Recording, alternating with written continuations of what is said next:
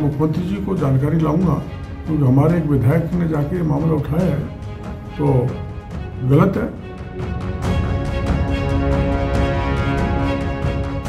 राजस्थान की राजधानी जयपुर में सोमवार को बीजेपी विधायक बाल मुकुंदाचार्य के बयान का विरोध करते हुए छात्राएँ सड़कों पर उतर गईं।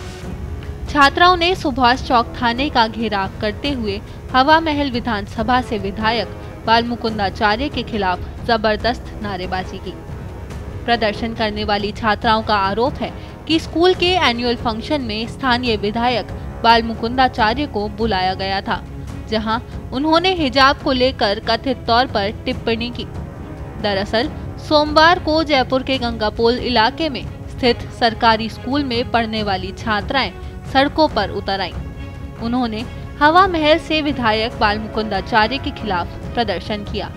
इस दौरान नाराज़ छात्राओं ने सुभाष चौक थाने का घेराव किया।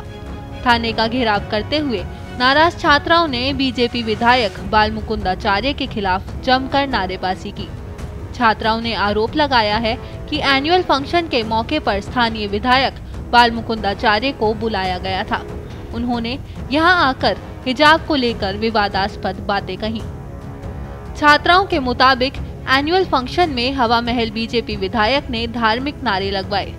यह हमें कतई मंजूर नहीं है।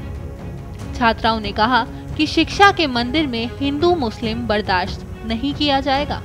इस दौरान छात्राओं के साथ साथ उनके परिजन और अन्य ने बड़ी संख्या में सड़कों पर उतरकर बाल मुकुंदाचार्य के खिलाफ कार्रवाई की मांग की।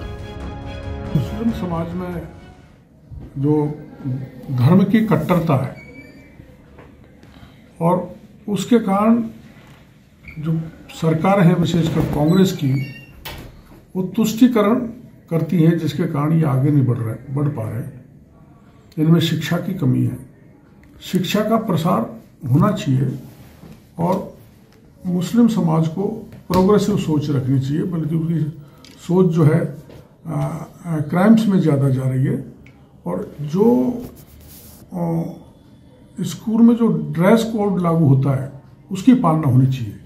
अगर स्कूल में बच्ची हिजाब पहन के जाएगी तो फिर स्कूल का न तो अनुशासन रहेगा, या तो फिर किसी भी वेशभूषा में, ड्रेस में बच्चे बच्चियाँ जाएँगे तो ड्रेस कोड की पालना होनी चाहिए। और वैसे भी कई देशों में ये हिजाब प्रतिबंधित है, इसलिए स्कूलों में ये किसी भी तरह से अलाउ नहीं किया जाता। सरकार आदेश यहाँ पे भी कुछ निकालेगी? तैयारी इसकी?